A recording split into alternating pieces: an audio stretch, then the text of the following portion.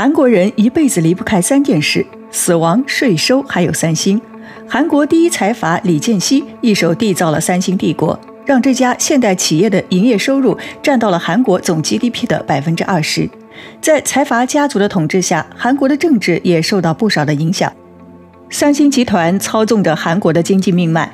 李健熙曾两次被特赦，成为美国方面在韩国的代理人，在政界有着举足轻重的地位。关于李健熙一家的家世也是十分精彩。李健熙膝下有四个子女，其中的三个就让他糟透了心。唯一的儿子李在镕是现在三星集团高高在上的掌门人，但是他的一举一动都被韩国检察院盯得死死的。有过当庭被捕的时候，也有非法使用镇静剂被重重处罚，还曾被韩国首尔警察厅金融犯罪侦查队缉拿。李在镕的掌门之位坐得也不怎么稳当。李建熙还有三个女儿，作为顶级财阀的女儿，有一种与生俱来的贵气，但是她们不是生来就是享受公主的生活，每个人都有一些使命在身上。财阀之间最常见的就是通过联姻来巩固家族的地位。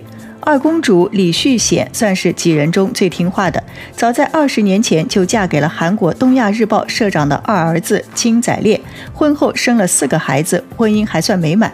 现在的李旭显是三星集团的副社长。大女儿李富珍也没少给父亲找麻烦。李富珍爱上了自家集团的保安任佑载，为了能让这个小保安配得上自己，把自己的心上人直接送去留学，在海外混了个高知分子。回国后任命其为三星机电的副社长。不过任佑载没有把握住这个走向人生巅峰的机会，浑浑噩噩的生活，还喜欢家暴。最后这段公主和平民的婚姻以离婚收场。李富珍没有借豪门联姻来借此巩固家族的地位，甚至还为集团抹黑。公主追求爱情的代价，下场最终是不怎么好的。前有大女儿李富珍下嫁保安被家暴，后有小女儿李一星为爱殉情。主导韩国经济的三星家族，为何总是在爱情上折腰？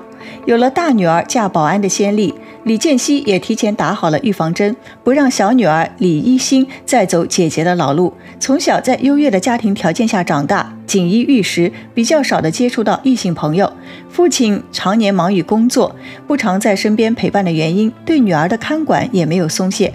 从小到大都是读的女校，小女儿才是真正的掌上明珠，小公主一般的存在。在二十岁成人礼的时候，就掌控三星集团的股票。不过，李健熙并没有让小女儿接触家族的事业，可能是看过了商场上的腥风血雨，对女儿出于保护的态度，完全的在温室中长大，导致李一星的心理和普通女孩不一样，面对社会并没有成长，只要遭受一点生活打击，就完全承受不了，步了姐姐的老路，最终也难逃悲剧的发生。李健熙不为生活担忧，也不怕家族事业会衰落，凭借着三星集团的财力，在韩国属于只手遮天的王室地位。长子李在镕也逃不过联姻的宿命，妻子是韩国大象集团名誉总裁林昌月的长女林世玲。后来因为两家公司在生意上有了不小的矛盾，李在镕和林世玲的婚姻最终以离婚收场。二人育有一子一女，出生即在罗马的三星小公主李元珠，二零零四年出生，是三星家族第四代的合法继承人。普通人一辈子得不到的东西，小公主却唾手可得。生在顶级财阀世家，可能是父亲把她保护得太好，也可能是由于年轻的原因，李元珠没搅入上一代的豪门恩怨。在父母离婚后，也没有缺席她的成长过程。在平日里，作为三星掌权人的李在镕，虽然工作很忙。但是也会抽出一些时间陪伴女儿做游戏、看比赛、参加亲子活动，一样都不少。李在镕的确是个合格的父亲，面对记者采访时，也毫不遮掩地向记者们晒自己的女儿。集万千宠爱的李元珠，逐渐成长为一个自信大方的富家千金。身为顶级财阀家的女儿，李元珠不仅有家人的宠爱，还有属于上流社会顶尖的社会资源。从小就在顶级舞团学习芭蕾舞蹈，以主演的身份演出。小小年纪就有了自己的代表作《胡桃夹子》。关于女儿的学习，李在镕也非常的重视。出于家人对女儿的疼爱，不想让女儿背井离乡的求学，在家门口的国际学校进行学习。仔细看，这是一个被称为“现实版继承者”的合照。照片上一字排开的女孩们，个个妆容精致，自信大方地展示笑容，浑身上下透露着贵气。这些女孩们个个都不简单，不仅有政界大佬的女儿、美国财阀家族的小孙女，还有中国百度总裁的女儿。此时的李元珠被父亲安排就读于美国的顶级学校。在家人的呵护下长大的李元珠，曾因一张自拍照就遭到网暴。年纪不大的李元珠也喜欢在社交平台分享自己的日常，就因拍照时拿的不是三星的手机，激怒了小心眼的韩国人。一时间，评论区就被污言碎语覆盖，最后只能将社交账户关闭，才平息了事端。小公主李延珠靠着父母，人生可谓是顺风顺水，将来可能也会卷入豪门大战中，但她却不需要经历平凡人的痛苦。大部分的韩国民众面对各种各样升学压力、生活压力，可能一辈子都翻不了身。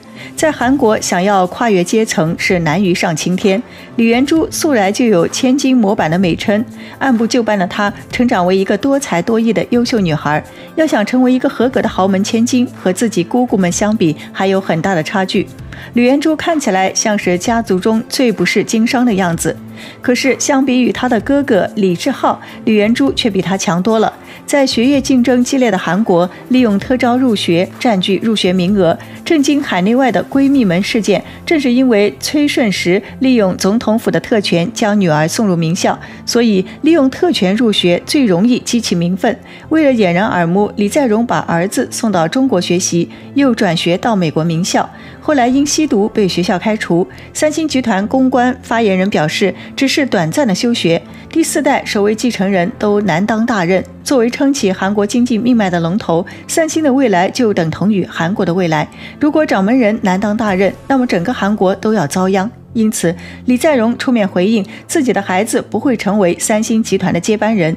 是真是假，普通民众也不会跟财阀玩心机。小公主李延珠似乎是日后继承人的唯一首选，因现在还年轻，日后家族里的明争暗斗，谁又能让着谁呢？商人的后代选择经商无可厚非，在巨大的财富面前，有多少人能不心动？年轻的李元珠也在渐渐成年后规划着自己的未来。